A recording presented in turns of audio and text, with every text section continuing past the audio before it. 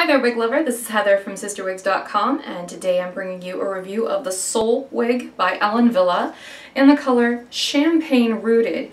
Now I've been reviewing a lot of light blonde human hair wigs this wig season and that's because we get them bought and then returned frequently because I know people are on a wild goose chase to find a perfect platinum human hair wig and most of them don't look ashy platinum, most of them will look like this okay? So as you can tell, this has a lot of residual gold in it. That's because this hair starts out black. So the sooner you recognize the limitations of the medium, the more happiness you will have in your pursuit because you will actually be looking for things that uh, are attainable as opposed to things that uh, are actually really difficult to find. In this case, this is a 22 a 24, and a 16 blended. The 22 should be an ashy color. The 16 should also be an ashy color. Only the 24 of that blend has actual gold in it. But because this is a human hair color, all of it's got a little bit of residual gold in it. all of it does. Even the 22. Okay, and the 16 is the root up here, which is a nice dark blonde. But even that isn't super ashy. You can tell all I did was just, you know, kind of tone it to make it look a little bit more neutral. So you gotta understand that human hair has limitations and this is still a very pretty color. It's just more like a 613 or, you know, like a straight 24 maybe even than it is a platinum blonde. So if you're looking for real champagne blonde or real platinum, you're gonna have really, really hard time accomplishing that with this human hair because it starts out black. there are limitations to what they can do.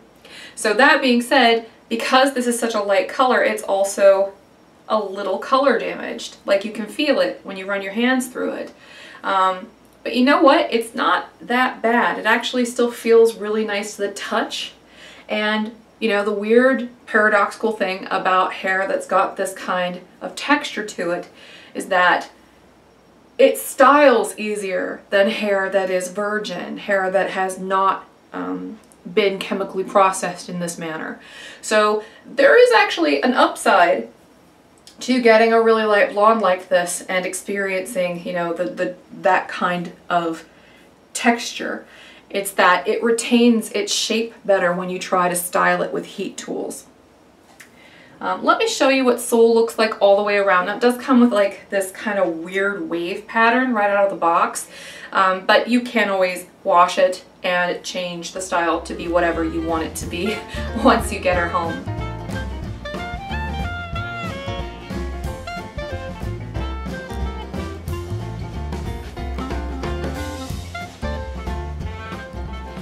So this particular wig is a great length. It's a really nice mid-length. The front down is 12 inches, so it kind of hugs the face here. The crown down is also 12 inches. The sides are 11 inches down. Okay, there we go. And the nape is another 11 inches. So again, it's a great length. The cap construction on this one is top notch. It is really fantastic. So let me go ahead and show it to you. As you can see, we have a 100% hand-tied lace front and monofilament top. They have little grippy bits of, of uh, polyurethane sewn into it. Um, we've also got a completely hand-tied cap here in the back that is kind of stretchy back here. We have nice uh, felt here on the ear tabs with a little bit of polyurethane at the bottoms for more adhesive if you want it. Same deal with the nape. Nape is really, really soft fuzzy felt. And then there's a little strip of polyurethane right here at the bottom if you want to put adhesive at the nape there.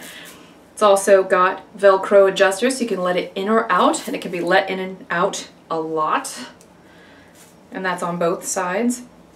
The elastic is covered with a soft meshy material. So, I mean, it's a beautiful wig. It's very well made.